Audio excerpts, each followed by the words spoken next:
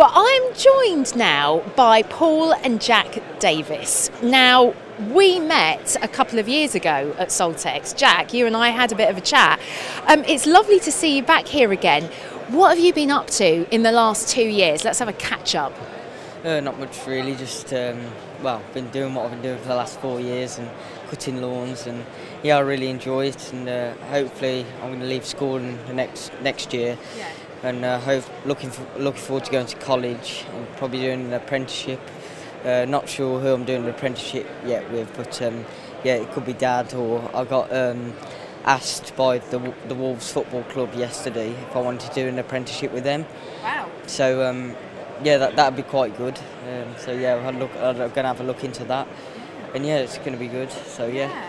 It's brilliant. Just to remind folks that maybe don't know of your story, you've both got your own companies. You've obviously got Paul's Gardening and Mowing Services, but you've got Jack's Yeah, yeah. Mowing and Gardening Service. Wh- Well, exactly, Gardening and Mowing Service. So you, you're in basically father and son, but you're in competition. How does that work, Paul? Well, I- I've worked on my, on my own for the last 12 years, 13 years, and Jack started when he was 11 because he's um, people round by where we live, the village we live in. Jack's been going round. He bought a ride on Mow when he was about 11, Yeah, about 11. so he, he's attached a, a trailer to the back of it with a mower and a strimmer and blower. And you just go around the village, didn't you, when you Cutting lawns and hand, you were- cutting lawns and handing out leaflets and uh, when he was 11 years of age? So- That's quite incredible at such a young age to kind of know already what you wanted to do. That's unusual. well, I mean, I, I love gardening since I was the age of two. I used, I used to go around with little plastic mowers, and I used to go with Dad. I used to follow him with plastic mowers, and he used to tell me off for leaving lines. so yeah, so um, when I was able to start my own business and start doing it myself, it was great. So obviously, I've just ordered this new um, uh, ride-on mower, Husqvarna. I know. So you're back at the show, and you- you were just literally telling me before we put the camera on. So how much have you spent? Uh, well, the retail price of it's thirteen thousand five hundred, uh, but I've paid ten thousand three hundred pound for it. That's a good deal. Yeah. So, Is it because they know who you are? Well, I think so. Yeah, and uh, I got them a lot of business, so yeah, they gave me a discount. Yeah, as well. So yeah.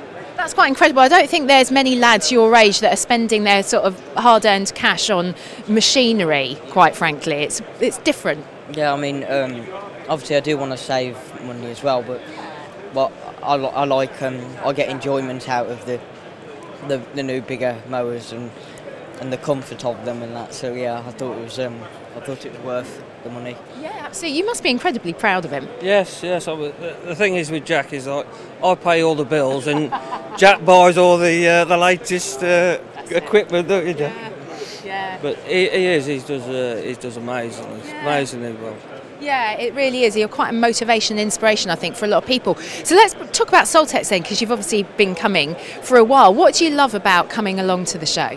Well, obviously, I like coming to meet all the lawn care legends. Uh, obviously, we have a meet up yesterday, um, so that that was good. And uh, I know they're rec- recording a few videos for YouTube, and I think I'm in a couple. So, yeah, obviously, I like meeting up with them and seeing the, the new machines that are coming out for 20, 2022. So, um, obviously, yeah, it's good to see what, what's coming out, and yeah, and it's all going battery powered now. Yeah. Yeah, Absolutely. so- Well, Saltex, of course, especially this year, it's all about innovation, and that's definitely where things are going. And is that something you're interested in? Yeah, well, obviously, I mean, we're all starting to go battery powered now, and we've got a few battery powered. Well, we've got a battery powered Some mower, ego stuff, haven't some we? ego stuff from where we are now. Yeah. So um, yeah, we, we've got this, that one. Nice. No, it's this one. Yeah, it's Oh, that right. one. Yeah, it's that one. Yeah. So um, so yeah, it's it's all going uh, battery powered, but still there's still petrol stuff out there, which is good. So I think they need to work a bit more on some of the battery powered stuff before it starts all going professional. So yeah, so yeah. Well, listen, it's been so lovely catching up with you guys again, two years on, and hopefully, fingers crossed, it'll only be a year till the next Saltex. Yeah, yeah, yeah. I'm look, looking forward to it. Well, listen, have a great rest of the show. Thank you very much. Cheers. Thank you.